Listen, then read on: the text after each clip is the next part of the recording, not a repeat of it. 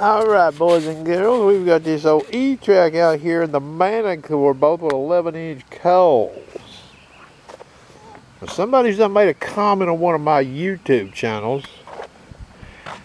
They're sort of insinuating that the CTX and high iron sites can hang with the old Manticore.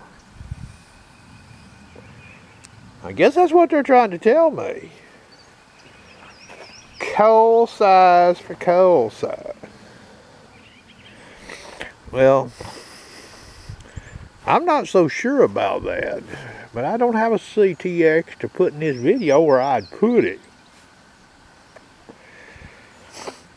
Now, how much difference is that CTX than that E-Trac right there? Exactly.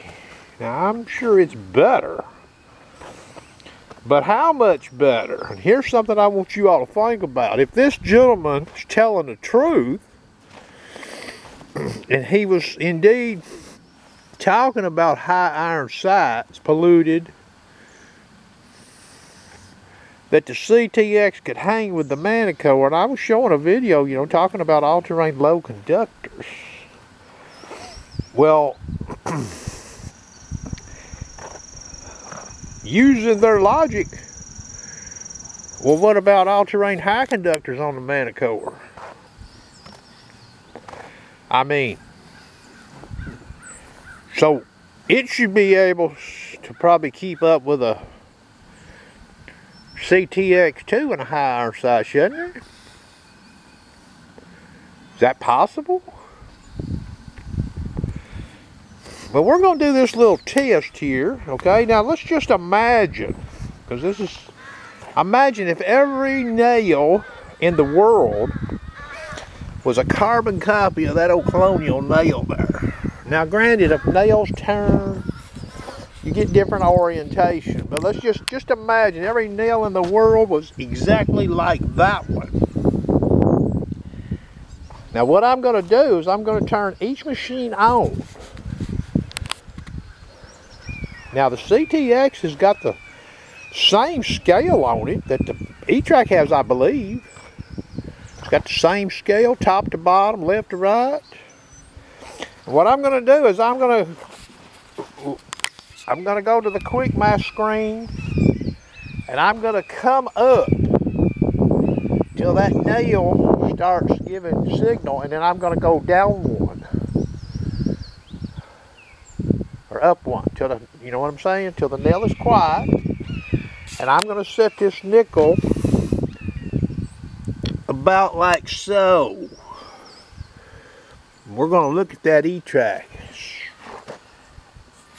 And we'll look at it with recovery speed fast and recovery speed.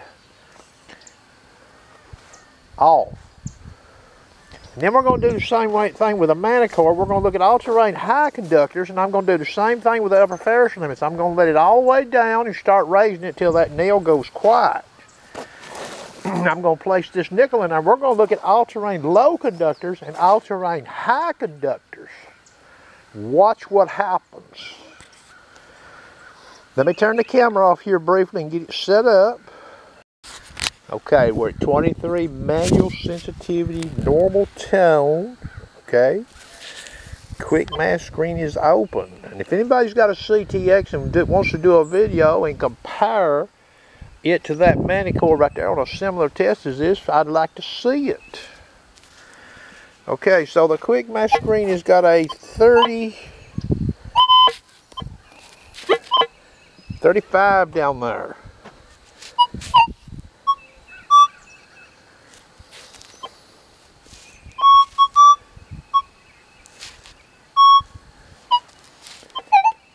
I can see this here. Okay, there's 34.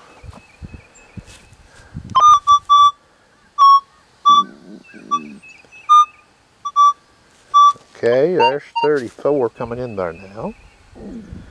So it's quiet at 34. You see that there in that camera? It's quiet at 34.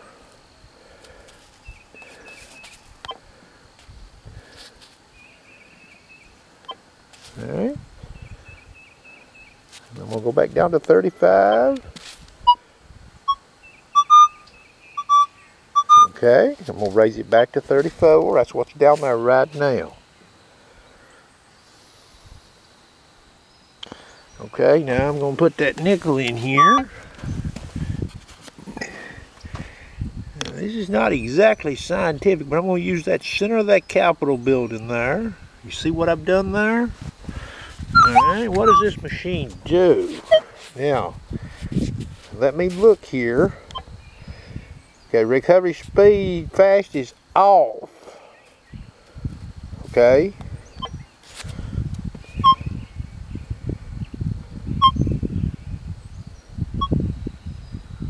You hear that?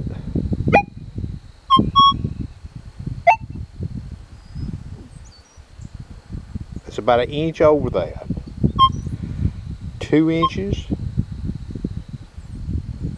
Okay, now I'm going to go in here, turn recovery fast on. Back to the quick mask. It's down there still. What happens here?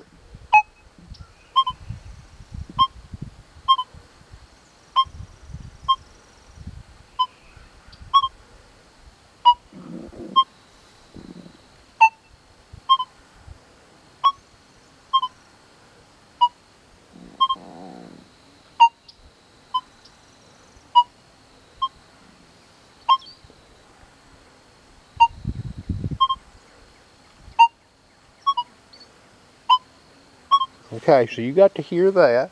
Let me turn the camera off. Now we got some signal there with recovery speed fast on. Fast off, we didn't get much at all. I turned it back off. We'll sweep again, back on the quick mask. You see it there?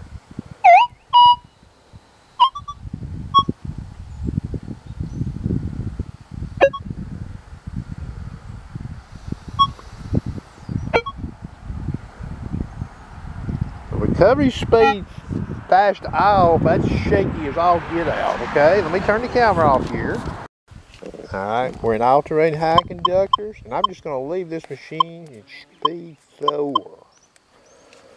Alright? Now, upper ferrous limits. There's 2. Okay, there's 3. There's 4. Alright, we'll back off to three. Go back to four. And we're in speed four, okay? Put this old nickel in here.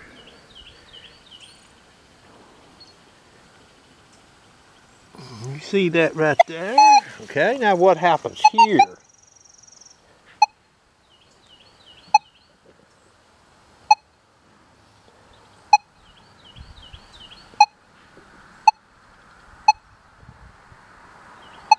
So I'm getting one-way signal. We've got the machine at speed four, okay? Sweep some more.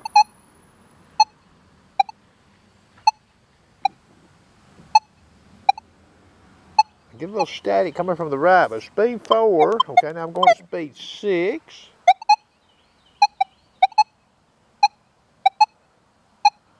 So I get signal and altering high conductors running this machine slow or fast. Your speed 8 even. But I only get one-way signal at speed 4. What about speed 5? Okay, I'm getting two-way signal in speed 5. Speed 4 again. Okay, so I get one-way signal. Okay? Now let's remove the nickel.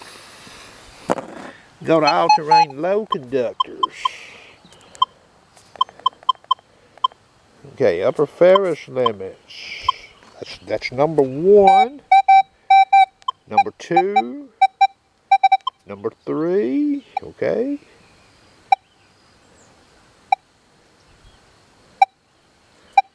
Number four. Back. Back, back to three. Back to four. So that's where she's quiet at. That was recovery speed 6 that I checked that in. Alright, let's put this old nickel in here again.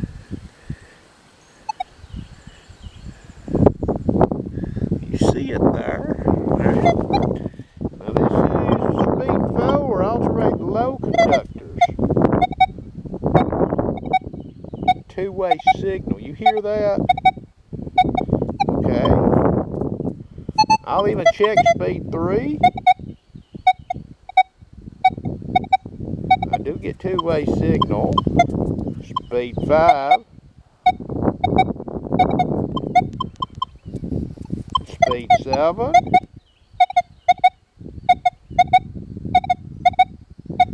Okay.